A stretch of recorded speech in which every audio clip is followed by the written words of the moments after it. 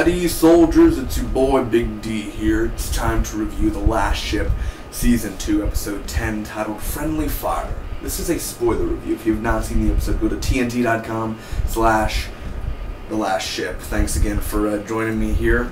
Hope you guys had a great week, and this Sunday, Fear the Walking Dead, I will be reviewing the series premiere and that weekly. Sorry for the laptop noise, by the way, you know.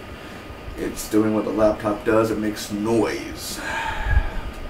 Let's get right to it, guys. Anyway, spoiler review again. Should take me less than two minutes to recap the episode, give you my pros and cons and final score. Let's get right to it. First off, Niels' organs. Dr. Scott's working with Niels' organs, and she's touching them and, like, and doing everything very funny about that.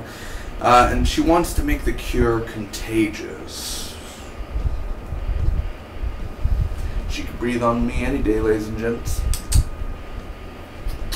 Anyway, so the investigation is going on because Niels died, and Tom is like, we need to do an investigation. Ah, Sherlock, Adam Baldwin, you are my Watson. And they go on an investigation and everything. Who killed Niels? Because honestly, he's the guy who created this whole damn virus and everything, but still, we're going to justify his death and we're going to get justice for him. Anyway, so the girl makes a move uh, on this guy. I don't know the girl's name. She's the only, like, cute girl on the team. She's making a move on the guy, the lieutenant, and she's like, oh, you know, yeah. And he's kind of like, I don't know about this. And then basically, hey, no sex on the boat. No sex. It's a rule, because, you know, it's not the apocalypse. And who follows procedures, but whatever, you know, you're right here throwing yourself at me no sex on the boat, so but no one will find out. So seriously, I was like, wow, like she's such a tease, and then she goes to the bath and like shower, and then he's kind of just there. Maybe he's just not into women. Who knows? Either way, that's going on. That was probably just an excuse, I'm sex, but actually he's probably not into women. Just saying. Either way, uh, there's a bunch of phones on the guys they've captured last week. They're messaging on a game, and it's basically like a code they need to decipher with their uh, messaging. Dr. Scott, Dr. Scott, she injects herself with the cure where she could breathe on people, make it contagious. She works it on a mouse, like. I thought she was gonna eat it for some reason. I was like, well, what are you doing? Ah, ah, and I was like, no, now I can't kiss you. You know, it's just ah, fictional characters. Anyway, all fingers are pointing towards Dr. Scott. Some of the crew are really looking nasty at her. Like she's Paris Hilton or something, Kim Kardashian. They're like, fake. You know, just sort of that. And basically, I love how Tex, he doesn't know much of anything, of the whole thing that's going on, but he's like, well, we wouldn't be here without you. Anyway, thank you so much, baby girl. Thank you for everything, Dr. Scott. I'm like, damn, Tex's gonna be playing it soon. He's gonna be wanting some. So Chandler, uh, Dr. Scott tells Chandler the truth. She basically confronts and she says she did kill Niels and everything, and she would do it again in a heartbeat. Murderer, witness, witnesses, and she just kills all of them. So she could have done it with Niels alive. She could have taken stuff from his lungs and all that, but she just wanted him dead. But he died too quickly. Ah, he died too quickly. Well, you should. Dr. Scott should have gone up to him and be like, Niels. Or like, Chandler, I had to do what was right. No, Dr. Scott. I could have made him an offer he can't refuse. I know I did that. I, I paraphrased it really, but I'm gonna make him an offer he can't refuse. Oh, yes. Lovely. Lovely, lovely, lovely. Just that scene, man. Just that. I know it was you, Fredo. You broke my heart. Ooh, we're drifting away though. Ooh, get it? We're on a boat. Let's get right back to the last though. Uh, either way, Godfather stuff are coming this Wednesday. Mm. So that's going on, and basically, the the boat is there's a bunch of explosions because there are a bunch of boats up ahead, and boom, boom, boom, boom, boom, boom, and there's a full-on attack. The sub is under all those boats that just got exploded. Sean's boat, the Ramses, we are the chosen. And basically, a bunch of torpedoes start going down, and everything's going around. There's a bunch of flares, and they get hit Sean calls and he basically edits a video where it makes it look like Nathan James shot at those ships and then they exploded. So they basically um, they they they make him look like the bad guys. This thing called Valkyrie. So the cure worked. The mouse is still alive, and when they reach land, they will turn Dr. Scott into the authorities. Ladies and gentlemen, what did I think about this episode overall? The pros, first off the action in this episode, man. This whole episode was really slow, not boring, but it was just more of like a okay, we're gonna we're gonna we're gonna worry about characters and character customization, but not really. And then the action came in, and it just blew your mind because it felt so freaking real. Like a torpedo's coming this way, all right, brace for impact, brace for impact, and he sits down and everything, and he's like, he's, he's like Captain Kirk, man. He's like, ah, Spock, come here, and like, ah, yes, ah, Captain Kirk and then boom, boom, boom, boom, boom, boom, boom, boom, and the flares and everything, and it felt fast-paced action. I like that, man. I love the way it was written and it was done, and the practical effects in here, and the also CGI effects were very well done. I do enjoy those things. Very intense. The action scenes were intense overall. Uh, I love how it worked, the cure. I love how finally we get something right. I love how it, it's in the, like the odds aren't in their favor.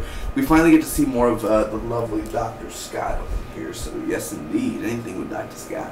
Mm-hmm. Magnificento. It's like a juicy meatball that's ready to be bitten into, and there are the juices. He is. Ha ha. Ha. Anyway, Dr. Scott herself, man, she's very uh, delicious. So I don't know where I'm getting with really. I, am drifting away again. Ah, what ADHD.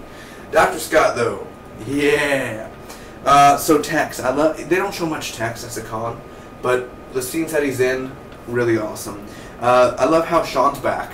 Oh, you Yankee ship. I can't wait to see some Sean and be some like, oh yes, I'm back. Are you ready for me, Chandler? I've been warming up. Awesome. Uh, I love how the girl on the no sex thing, like that whole scene was really funny and very ironic, and then it just stops. It, it just fades away like the rest of his career. Awesome. Also, they showed Ray. I know they raised the guy from last week, the teenage boy, and then like they didn't show him afterwards, but I, at least they showed him like, oh, this character's actually alive. You know, like they showed Miller. They show a few other Navy people uh, from the crew that we don't really see often. Like the chef, they usually show him every now and then. They didn't show him this episode, but I'm glad that they actually show and at least give these people some lines. So that's pretty cool. The only cons, really, not much Tex. I'm a little bit pissed off about that. Where is my Tex? Where, where, where, where, where, where is that Texas boy at, man? I need some of them Texas lines up in there. That, that quick, fun, witty line from Tex. I love them. Also, they focus too much on Dr. Scott, but they don't I mean, not the, that they focus on Dr. Scott. I'm talking about the crew. They want to punish her. That's what I'm talking about. They, the whole crew. This whole episode was: Should we punish Dr. Scott? Did she do it? Find out next week on the same bat channel, same bat time. It's like, who cares if she did it? Again, it was Niels. Really? You're gonna give her to the authorities? I don't think you get it. We NWA. No, seriously. Wow, why are you going to give her to the authorities? It's just. What are you doing, mate? Sean will be like, if you don't want Dr. Scott, I'll take her. you hear me, Chandler? I hear you. You know, just, oh my gosh, it's. They focus too much on it, and what about the. And the president's like, well, do what you do, Chandler. She freaking did the cure, and now she can make it contagious, and you guys are gonna throw her away? What happens if it mutates the virus? There's a season three confirmed. I hope you're not getting rid of Dr. Scott because if you do, I promise to you, TNT, I will come after you and I will make their life a living hell. Either way, Dr. Scott, man. Uh, also, they didn't go back to the girl, the whole no sex thing. Like, wow. Like, again, like Wolf and everything, they don't show Wolf a lot. Show those characters more. I'm glad that they give them a little screen time, but come back to them by the end of the episode. We want to see where they're at, you know? Also, where's the other prisoners? Fleet was the only guy on the boat last thing I saw.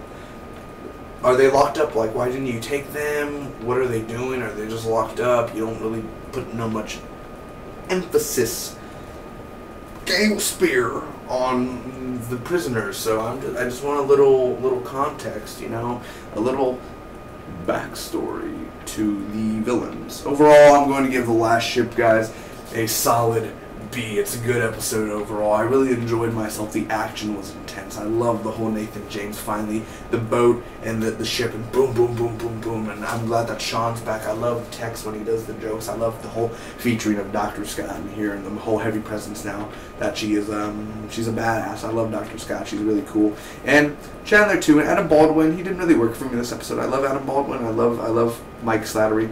But this, this episode itself didn't work for me. It, it just didn't work with him. Yeah, I, like he was like, ah, I wonder what pizza tastes like. Tastes like pizza. Was he asking you, Adam Baldwin? Was he asking you? Yeah, I don't think so. Again, guys, this Sunday, Fear the Walking Dead, and uh, don't forget I'll be reviewing Hitman, Agent 47, American Ultra, and possibly, possibly, my friend bells out the no, possibly Sinister 2. So until next. Uh, until next Monday, I'll see you all uh, later. I'm going to stop it with you. Always.